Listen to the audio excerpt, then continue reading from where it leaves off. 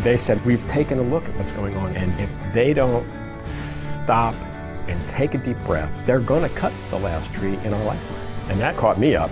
Like, what do you mean?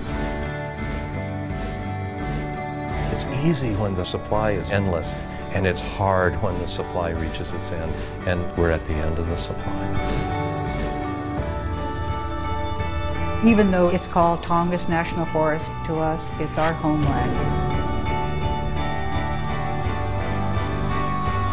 I will never sleep until I've exercised every possible way to protect this forest.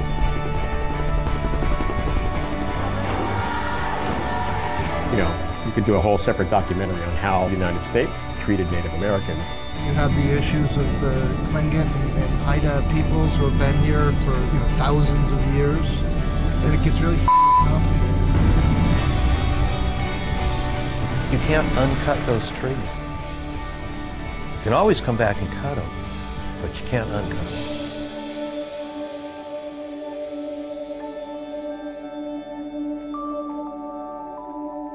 We are not going to be responsible for the disappearance of music from this earth.